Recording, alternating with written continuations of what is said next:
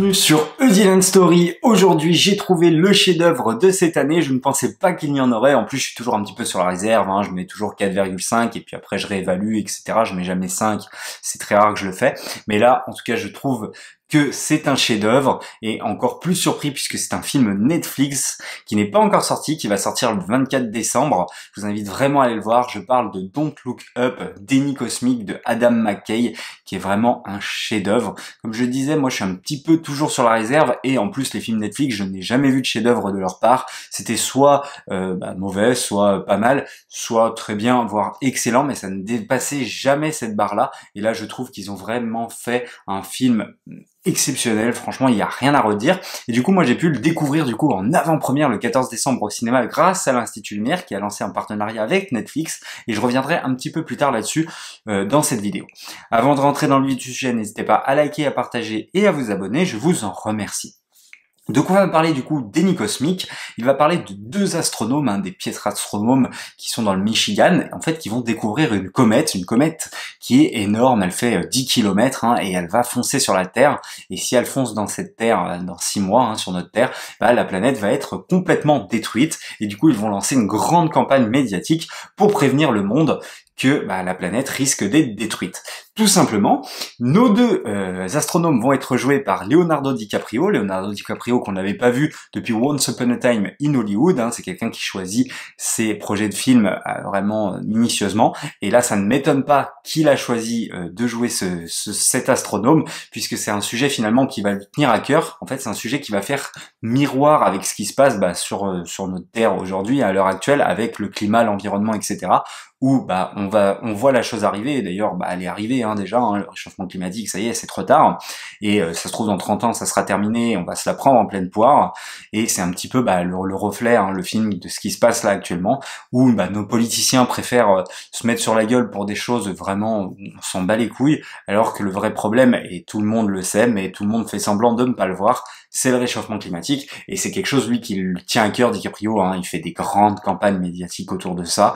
Et euh, D'ailleurs, il avait fait un documentaire vraiment excellent là-dessus, et donc ça ne m'étonne pas qu'il a choisi de jouer ce rôle-là. Et d'ailleurs, il va jouer un, un, astronome du coup qui va être plutôt euh, quelqu'un qui va être vraiment stressé, qui prend beaucoup de médicaments, etc., et qui va devoir se retrouver bah, devant la caméra. Donc, euh, ça va d'autant plus le stresser. Donc, comment ce personnage va réagir face à cette situation? Il va même se retrouver face à la présidente des États-Unis. Donc, euh, il va y avoir tous des ressorts comiques autour de ça. Et je trouve bah, qu'il le joue à merveille, juste notamment le stress, etc., et il est encore plus magnifié par la caméra d'Adam McKay, parce qu'Adam McKay s'entoure toujours de gros castings, mais en plus je trouve qu'il fait des grands acteurs encore des plus grands. Donc ça c'est assez fort. Et la deuxième astronome va être jouée par Jennifer Lawrence, qu'on n'avait pas vu elle aussi depuis un petit moment, et je trouve qu'elle s'était un petit peu perdue avec les X-Men, etc. Et là je trouve qu'on a une Jennifer Lawrence retrouvée, une Jennifer Lawrence retrouvée de par exemple Happiness Therapy où elle était excellente, et là elle va jouer, euh, bah finalement elle va peut-être représenter un petit peu l'adolescence d'aujourd'hui, on va dire, hein, les adolescents d'aujourd'hui, et elle le joue très très bien, notamment bah, elle sait que la Terre va être détruite dans six mois si on ne fait rien, donc des fois elle va avoir des moments où elle va pleurer, donc ça va être assez fort au niveau du jeu d'acteur, et ces deux-là du coup sont nommés au Golden Globe pour meilleur acteur dans une comédie, et ça ne m'étonne pas. Je veux parler, je vais enchaîner justement du fait que ce soit une comédie, alors oui c'est une comédie, bien plus que l'est par exemple le, The Big Short, le casse du siècle, Vice était déjà sur ce registre comique, mais euh, là oui c'est une comédie certes, mais attention il y a un côté, un vrai côté dramatique, et d'ailleurs la comédie n'enlève rien à la dramaturgie du film, et ça c'est très très fort parce que des fois on va avoir des propos vraiment poignants, et encore une fois qui vont refléter notre société actuelle, donc ça c'est assez fort. Et d'ailleurs Adam McKay a écrit le scénario en plus de le réaliser, et c'est quelqu'un qui a vraiment une force au niveau des dialogues je trouve, même quand il était sur sa période de films comiques, alors certes c'était des comédies plutôt potaches et débiles, mais avec des dialogues quand même assez puissants généralement. Hein. C'est quelqu'un qui vient d'ailleurs du Saturday Night Live. Et du coup là, depuis euh, bah, The Big Short, depuis le cas du siècle, hein, qui parlait de la crise financière de 2008, bah, il est passé sur un registre beaucoup plus sérieux. En tout cas, voilà, il est plus sur ce registre comique potache, comédie potache. Et euh, franchement, c'est un réalisateur vraiment exceptionnel. Hein. Donc euh, je pense qu'il l'a prouvé, je trouve, avec The Big Short et Vice. Là, je trouve qu'il arrive au sommet de son art. Et j'espère, moi, déjà, en tout cas, l'Oscar pour Denis Cosmic. Je vous le dis, directement, parce que c'est très très fort de faire une comédie avec des dialogues d'une qualité pareille, surtout en sachant que le film fait 2h35, donc il ne faut, enfin 2h25, il ne faut jamais lâcher le spectateur en route, et il arrive à, grâce à son scénario, le rythmer vraiment. On se fait jamais chier dans ce film, c'est très très rythmé, ça va très très vite finalement, et grâce aussi à ces mouvements de caméra, où parfois il va faire des gros plans, parfois il va zoomer sur nos acteurs, etc. Et ça, il le fait à des moments très précis. C'est pareil, il va y avoir des moments en fait, l'action va se dérouler aux États-Unis, entièrement aux États-Unis. Et en fait, par moment, il va te rappeler que ce n'est pas que les États-Unis qui va être touché, mais bien la terre entière. Et en fait, il va te il va te faire des montages qui va durer, mais ça va être très rapide. Hein. Attention, vous attendez pas par exemple un montage de Rocky 4 qui est en train d'escalader la montagne, etc. Non, ça va être des montages très rapides et qui vont venir te rappeler que ça touche le monde entier. Et donc, par exemple, il va te mettre, je sais pas, euh, des rhinocéros enchaînés avec une image d'un bébé qui naît, enchaîné avec euh, des images de, je sais pas, euh, des, des euh, des, des, je sais pas, des Chinois, enfin, je veux dire n'importe quoi, ou la, la, place, la place à Tokyo qui est extrêmement connue. Enfin voilà, il va enchaîner avec plein de choses comme ça, très très rapidement, avec une musique d'ailleurs qui est assez bonne aussi, hein, qui vient envelopper le film. C'est peut-être pas le plus gros point fort du film, mais moi je trouve que la musique aussi est assez correcte. Donc c'est quelqu'un qui fait vraiment les choses en grand, je trouve et qui les fait très très bien. Et comme je disais, hein, donc euh, depuis trois films, du coup, il s'entoure de gros castings et au-delà d'avoir Leonardo DiCaprio et Jennifer Lawrence, il a aussi Meryl Streep qui va jouer la présidente des États-Unis, qui le joue à merveille. C'est assez marrant. Hein. Et puis bah ça critique encore une fois la société d'aujourd'hui. Et euh, elle va avoir un fils qui va être son bras droit, qui va être joué par Joe Hill. Jonah Hill qui va être dans le registre un petit peu finalement du loup de Wall Street, je trouve, hein, qui va être un petit peu con, mais qui va sortir des punchlines comme ça, qui va faire éclater de rire tout le monde. Donc voilà, il reste dans ce registre-là. D'ailleurs, on retrouve un petit peu, alors vraiment, c'est beaucoup moins que le Loup de Wall Street, hein, même, euh, voilà, ça, ça, ça dure quoi, 10-15 minutes, mais la dynamique DiCaprio, John Hale, qui fonctionne à merveille, je trouve que ces deux-là ensemble sont vraiment top du top. On va avoir Kate Blanchett et Tyler Perry ensemble qui vont jouer des présentateurs télé, et alors là, mais vraiment chapeau bas à eux, c'est vraiment, mais ils le font à merveille, euh, c'est voilà, des excellents acteurs.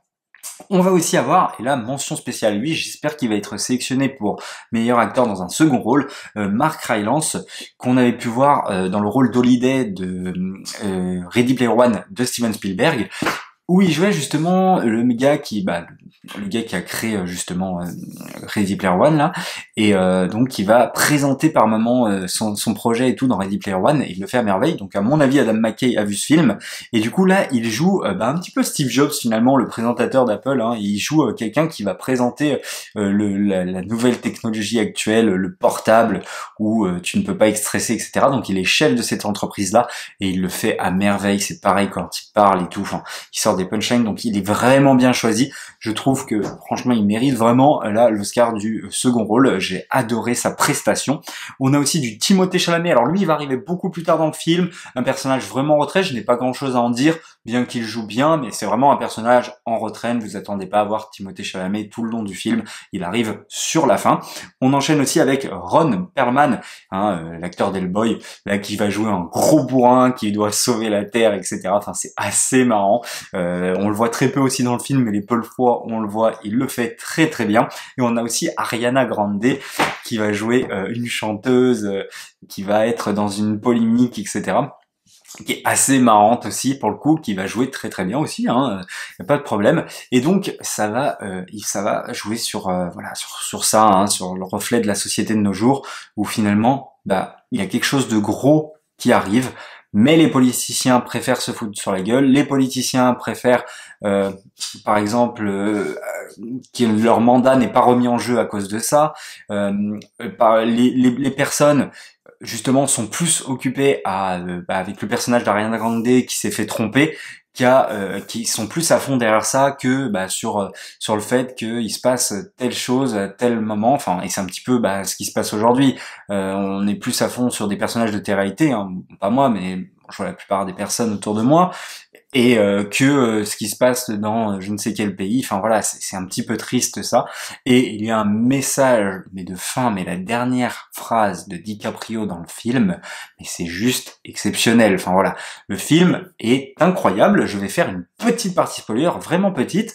Avant ça, je vais vous dire ma note. Bon bah 5 sur 5, hein, sans grande surprise. Et je vais revenir juste sur le fait que l'Institut Lumière du coup s'associe avec Netflix. Donc Netflix déjà euh, sort euh, des films aux États-Unis hein, régulièrement, donc dans quelques salles. C'est distribué un petit peu partout aux États-Unis.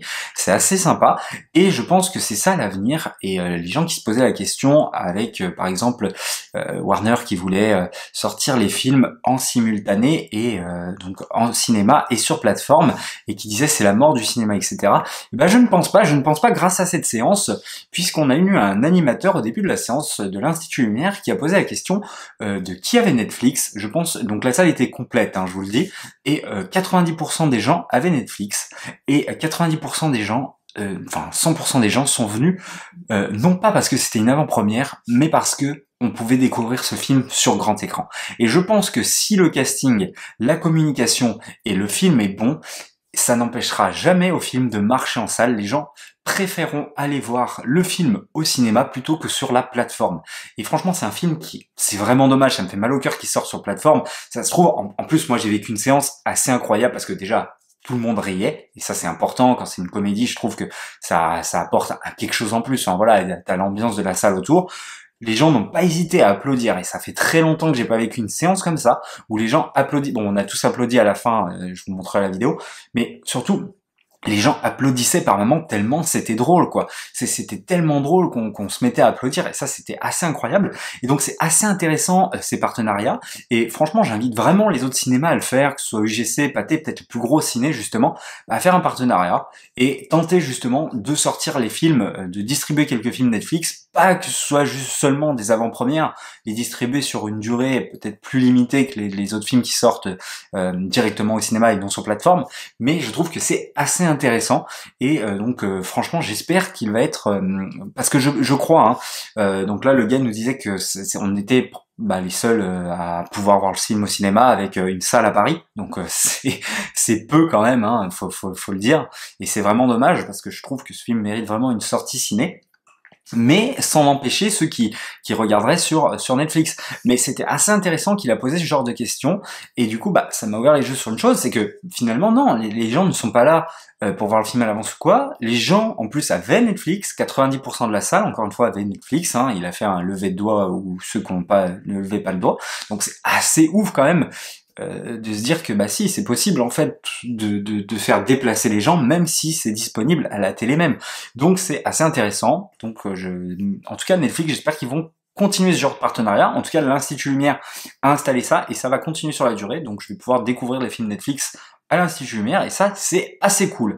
Je vais partir dans, dans une partie un petit peu plus spoiler. Euh, je voulais parler juste de deux choses. Euh, la première c'est euh, DiCaprio quand il pète son câble. Donc attention, hein, c'est parti spoiler. Hein. Quand DiCaprio pète son câble, euh, c'est exceptionnel. Tu sens qu'il n'a pas eu besoin de jouer cette scène. Tu sens que c'est toute la rage qu'il a actuellement avec justement ce qui se passe avec l'environnement et le climat.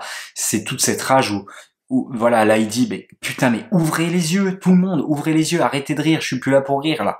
Là, la, la, comète c'est trop tard, elle fonce sur Terre, c'est fini, tout, c'est terminé là, putain, c'est merde quoi. Des personnes, euh, tout le monde s'en fout, personne s'attriste, etc. On préfère puiser, euh, puiser, euh, essayer de encore plus s'enrichir grâce à cette comète en essayant de la puiser au lieu de la détruire directement.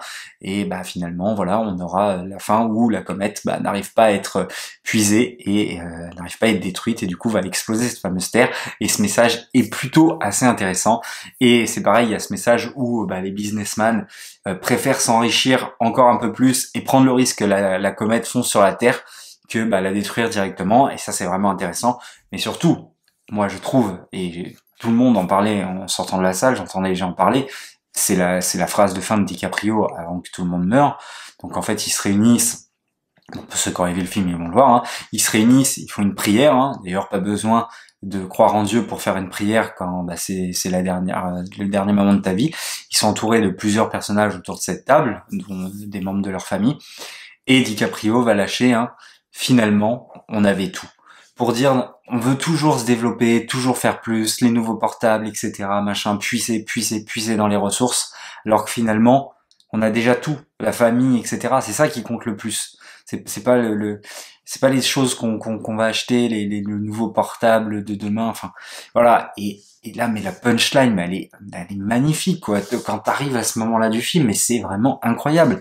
Finalement, on avait tout, et c'est la vérité, on a tout. Et sauf qu'on, qu'on s'en rend pas compte. On préfère être sur notre portable que, que, que parler avec la personne d'en face. Et ça, c'est regrettable. Et le message est vraiment bien passé, je trouve. Bref, c'est un excellent film, c'est un chef-d'œuvre d'écriture, de réalisation, d'acting. J'espère qu'il va rafler la mise aux Oscars, ce film, s'il est sectionné. Franchement, je lui souhaite vraiment regarder euh, ce film. Encore une fois, évidemment, ma séance, moi, bah, va pas être la même que la vôtre, puisque vous allez être devant votre télé, etc. C'est malheureux, c'est regrettable, mais moi j'ai vécu une séance assez exceptionnelle et voilà, je vous invite vraiment malgré tout à regarder ce film sur Netflix quand il sort, il est vraiment exceptionnel. Merci d'avoir suivi cette vidéo, encore une fois je lui mets 5 sur 5. Moi je vais filer voir Spider-Man No Way Home, alors je sais pas si je vais passer un aussi bon moment que celui-là, mais bon c'est pas grave, on verra bien. N'hésitez pas à me dire dans les commentaires ce que vous en avez pensé, à liker, partager à vous abonner. Je vous en remercie et comme d'habitude, nous on se dit à la prochaine pour une prochaine histoire.